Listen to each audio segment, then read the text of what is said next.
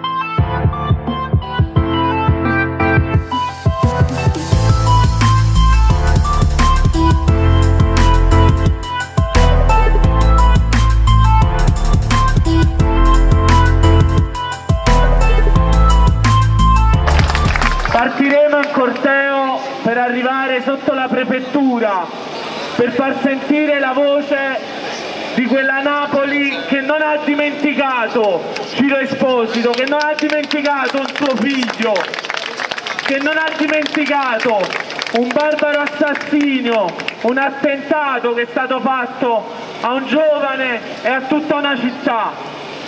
Qua abbiamo la mamma di Ciro che ci può raccontare cos'è successo quel giorno, qualcosa su cui molti non ci hanno raccontato la verità perché purtroppo a tre anni da quei fatti stiamo ancora cercando verità e giustizia per Ciro. E oggi alla vigilia di quest'ennesima data tappa del processo. Ancora non sappiamo cosa è successo quel giorno. Ancora ci sono troppi misteri su quella giornata. Ci sono troppe cose che non sono state dette. Noi ancora non sappiamo perché De Santis quel giorno ha agito. Chi gli aveva dato una rivoltella per andare lì a provocare pullman di donne, di bambini di gente che era andata a vedere soltanto una partita di pallone? Perché per tutti quei chilometri metri quelle persone sono state fatte camminare in uno spazio vuoto dove poi sarebbero diventati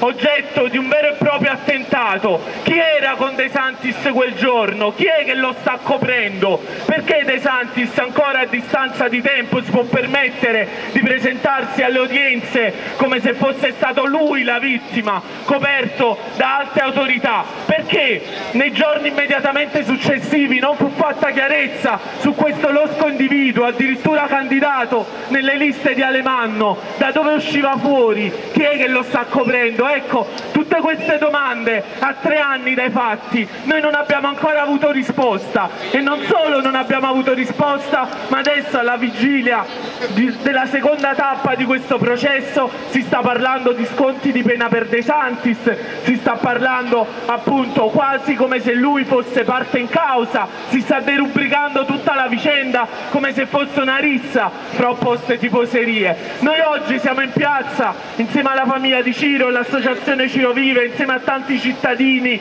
che non si riconoscono nel percorso che ha avuto questo processo e che pensano che la giustizia sia una cosa un po' più grande di quella che possono dare i tribunali. La giustizia è innanzitutto il riconoscimento collettivo e la memoria di quello che è successo. Noi oggi siamo in piazza per chiedere questa giustizia, per chiedere che sia fatta verità, per chiedere che tutto non si riduca a una rissa fra opposte tifoserie, perché al posto di Ciro ci potevamo essere tutti, ci poteva essere qualsiasi ragazzo coraggioso e generoso di questa città che non voleva vedere un pullman di donne e bambini a cui venivano tirati addosso petardi. Là poteva succedere una strage e probabilmente se la strage è stata evitata è soltanto perché delle persone sono andate a mettere fine a questo attacco e perché una pistola, una pistola che era stata messa in mano a questo losco individuo si è inceppata, altrimenti avremmo potuto raccontarci una storia ancora più tragica. Purtroppo di tutto questo non se ne è parlato, né nei giorni immediatamente successivi né ancora oggi. Abbiamo dovuto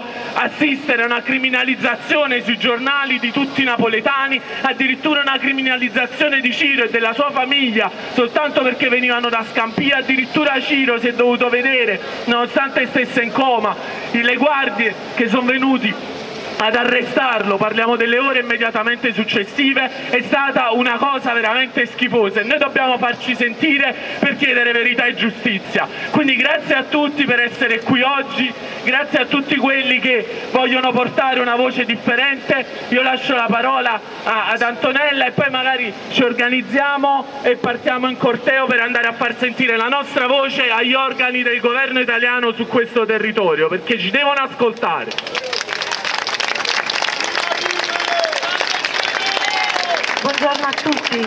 Grazie per ognuno di voi che oggi si sente Ciro Esposito.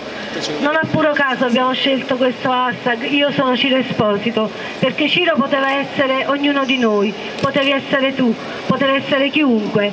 Questo ragazzo che è morto solo per aver avuto un eccesso di amore, solo perché aveva sentito le donne urlare, i bambini picchiare i pugni vicino ai vetri e oggi dopo tre anni ci sentiamo dire che non sussistono futili motivi. Questa è stata la parola del procuratore generale. Ciro quasi quasi meritava di morire? Io voglio questa risposta. Ciro Esposito perché è morto?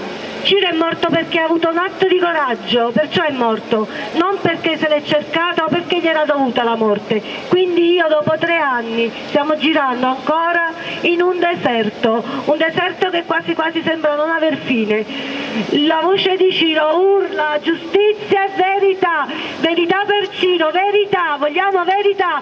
La famiglia Esposito, il popolo napoletano vuole e urla giustizia e verità. Basta, solo questo voglio dire.